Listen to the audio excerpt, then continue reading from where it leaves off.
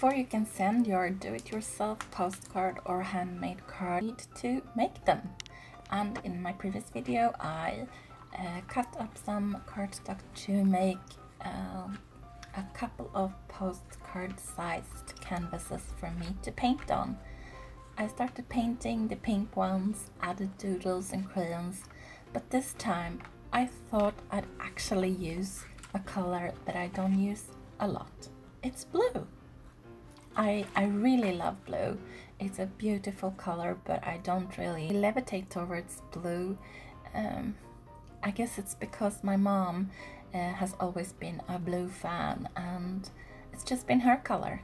So um, I haven't really dabbled in blue too much, but today I wanted to do it. So I took out my acrylic paint and I just poured up a couple of different shades along with a black, a green and a cream colored off-white that I used to mix the other blues to have a lot of shades. Um, if I were any kind of blue, I'd probably be baby blue, I guess. Not really the kind of blue that I uh, painted my nails with. Or even closer would be turquoise or lime uh, green because I really like those colors. And I'm also adding in some black and some grey and I'm just uh, dabbing on paint with my brush. Uh, sped up this part because you don't really want to watch me do all this but I, I wanted to share it because I've been thinking a lot about how um, I did nothing like this when I got started. Um, I was so scared um, of destroying uh, my papers. I carefully glued everything down and then painted around the papers and, and such things. And these days I'm just going over like a wild, a crazy person. I'm just uh, bringing in um, plastic card to spread my paint. I'm just mixing colors. I love not cleaning my brush in between uh, colors.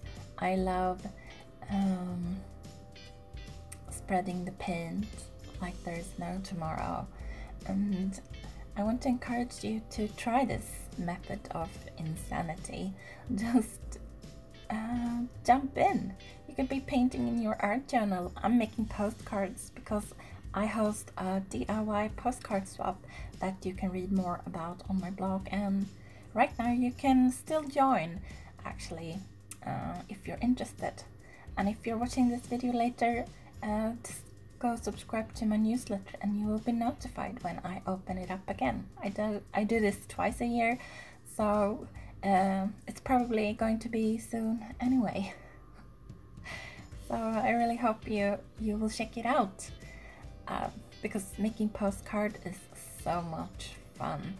Um, I really enjoy mail art in this kind of small and easy to approach art form. I dried my postcards with a hair dryer that I always have on my art desk and I've finished uh, the second layer of five postcards so far um, I'm working in kind of batches of four or five and now I'm going to pour up some more white paint and start adding uh, the little details, the kind of um, moment where I slow down a bit and bring in a smaller brush, um, go down a little closer and actually look at what I've been adding to my postcard canvas. And I'm just um, start making marks.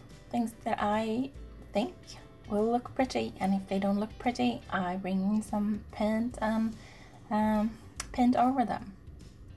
The collage pieces on this postcard is a piece of pattern paper as well as um, down in the corner is actually an, a label from um, embroidery floss.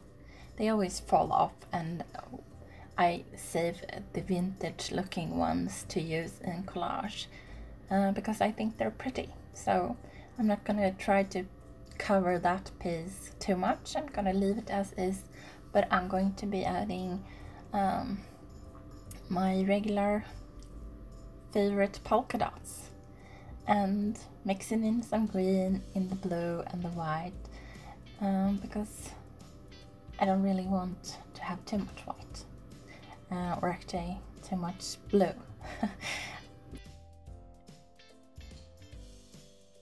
then I'm making some marks with a pencil. Um, this is uh, one of my favorite pencils, um, Blackwing.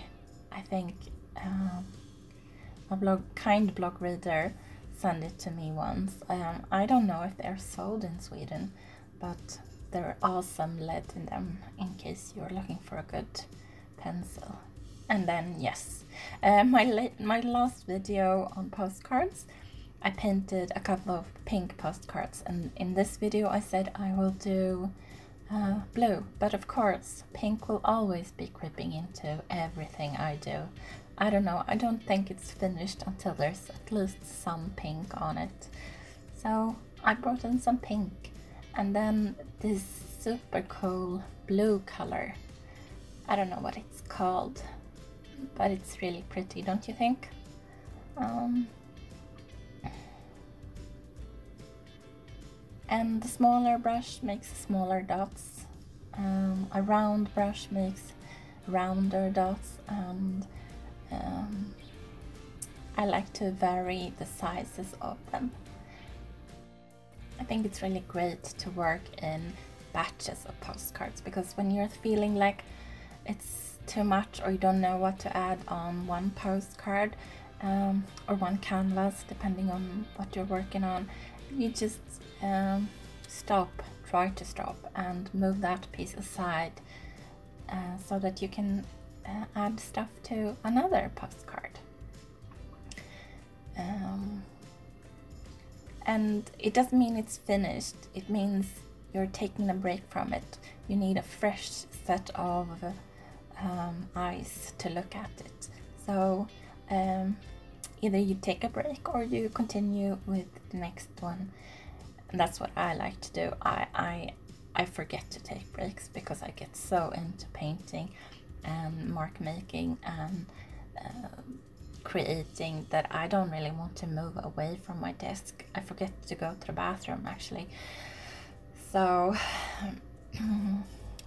but uh, yeah, that that aside, maybe we don't need to talk about my my too few bathroom breaks, but we can talk about um, how how great it is to have several um, pieces to work on at once. I think that's one of the things I kind of miss a little bit when I'm working in an art journal, especially with acrylics. If I'm working on pens or crayons or pencils, it's fine. But with wet paint, you need to wait until it dries and you can't just move on. Of course, that is when the hair dryer or heat gun is a great tool to have. It's a really great thing to have handy if you're impatient and want to move on quickly. Um, and you don't want to sit and sip your coffee and look out the window or wait while paint is drying. um, I used to be really judgmental uh, when seeing people using hair dry and thinking, what is the rush? But now I get it. I really get it. You want to stay in that flow of not hesitating, not thinking too much, just moving on, letting your brain relax and your hands move. Um, and that is what is so great about uh, painting, I think. At least this kind of um, abstract pattern making, uh, diving into color and exploring the possibilities and having a nice play day play date with yourself actually. I think that's what my postcards are about. Um, I just want to create something that will make me happy. I'm hoping that the recipient of these postcards will uh, smile, maybe want to put them out uh, on their inspiration board or the wall or the fridge or even frame them. Um, or at least uh, have them out for a while and just enjoy them like I did when I created them.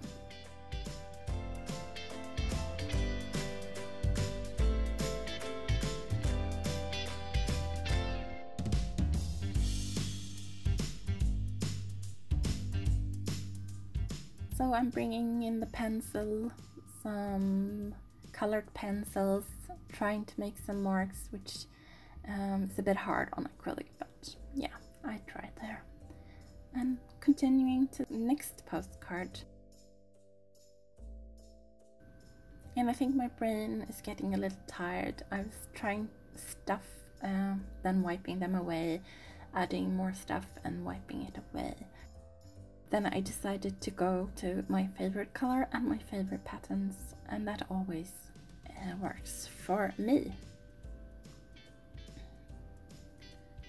And I've already talked about the crayons in my previous videos and in the blog post of that video um, I link to all the products um, I'm using the matte medium, the um, crayons and some other good to have at home things uh, when you're making DIY postcards. This is the last postcard I'll finish and um, I want to encourage you once again just to dive in and be creative. It is really soothing for the soul, and I think we all need some creative time just for ourselves. Put on some good music, or maybe even a show, um, or podcast, or some videos on YouTube. There are great playlists. I have a playlist for making postcard in different styles, both collage ones that I've done previous years, painted ones that are representative, and these kind of abstract creations that I adore diving into and making. I hope you have enjoyed watching this video and that you feel inspired to maybe check out the postcard swap if you haven't signed up already. Um, you could still join I would love to know what you think of these postcards if this is a style that you enjoy. And whatever you're creating right now, um, me, I'm not just making postcards. I've just bought myself a, a, book that I will going that I'm going to alter.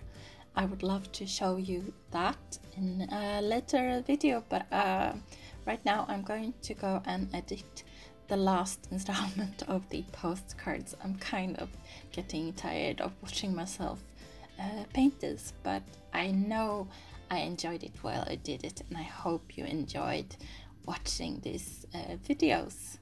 Um, I'm just gonna also include here at the end the free printable that you can get on my blog. It's a PDF and it prints on one paper too postcard backsides that you just cut apart and glue to any postcards that you're making for the swap.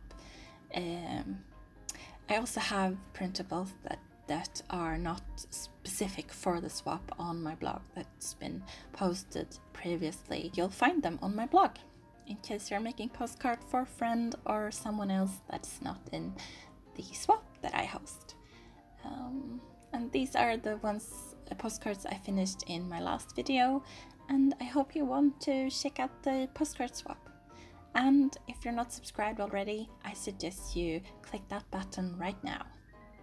Thank you so much for watching. Here's uh, me from Instagram stories and until next time, take care of yourself.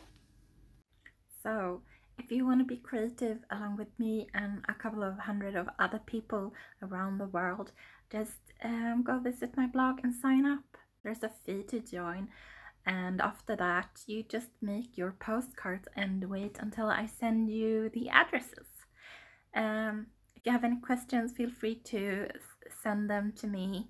There is an FAQ on my blog with um, frequently asked questions answered and there's a lot of inspiration on my blog. Videos and images and um, you can also go look at the hashtag hashtag uh, yeah and that's what i wanted to say. Oh if you could share this with a friend who you think might be need a little boost of creativity right now um, a bit of happiness i would love that